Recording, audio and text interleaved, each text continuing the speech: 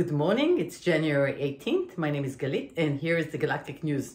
I woke up so excited today. I don't know, I woke up from that dream that gave me all those ideas, and suddenly I know what I need to do and how to move forward. And then I remember, aha, Uranus went direct today. Obviously, we finally get this aha moment and move forward feeling. Don't you have it? I mean, check with yourself if something is different today because while we were sleeping, or at least I was sleeping in my part of the world, Uranus went direct at 10 degrees Taurus. Now, Uranus is still in a square with Saturn. Uh, we've been feeling it for a year and a half now, and they've been urging us to create change in our system, in our structure, and bring up something new. But look, sometimes there are those days when the sky is just singing in a symphony, and today is one of those days, and I want to show you some stuff that's going on. So we have Mars in Sagittarius. Mars has been in Sagittarius for almost a month, almost uh, ending the transit in Sagittarius.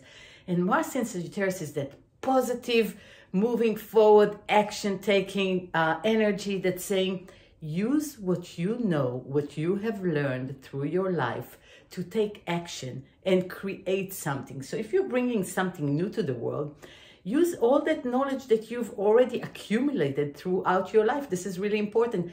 You're not creating out of a vacuum. You're not creating out of a nothing. You already carrying so much knowledge, Sagittarius, knowledge that you've accumulated. So use that to create the new stuff that you're bringing. Venus is still retrograding in Capricorn. Mercury is retrograding in Aquarius. Mercury in Aquarius retrograding, bringing us information that we need to use right now that we may have overseen or overlooked or didn't pay attention to. So Mercury is going, is always the messenger, is going and bringing that information so we can use it. Venus retrograding in Capricorn for a long time because Venus is asking us one really important question. What is important for you? What are your values? And according to your values, what's really important? And clean the noise and concentrate, focus on what's important for you. That's really important, right? So, what is important for you? The other things that's going on, and it's really big, the nodes. This is the north node, so the south node would be here. The north, the north and the south node have transited from Sagittarius, uh, Gemini into Taurus and Scorpio. Now, Taurus and Scorpio is always about value and worth. So, what is your self worth? What is your self value? And according to that, you create security, financial security, or not. So, Taurus and Scorpio axis, which we're going to have the nodes transiting there for uh, a year and a half, will give us the opportunity to clean up and heal Scorpio.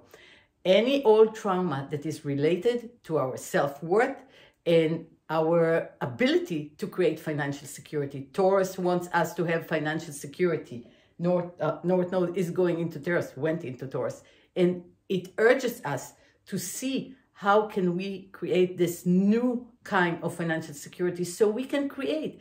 This journey of this life is all about creating creating yourself the best version of yourself and creating structures creating all kind of new beautiful creations that you can bring to the world and share with others. The word others is really important. Share with your community. Saturn in aquarius is there for a reason. It is teaching us a new way to be in our community so that's a beautiful day. Oh, Jupiter in Pisces, of course, and Neptune in Pisces, giving us the faith and the ability to believe that there is something greater than us that we belong to, and the ability to have downloads, the spiritual downloads, creative downloads that are coming from, it seems that they're coming from nowhere, but they're coming from somewhere, right? The universal mind, or whatever you want to call it. And we can uh, let it run through us and create from that space of just knowing and allowing. That's it for today. It's a really exciting day for me. I hope for you too. Uh, enjoy the day, enjoy yourself, and become the best version of yourself today and every day.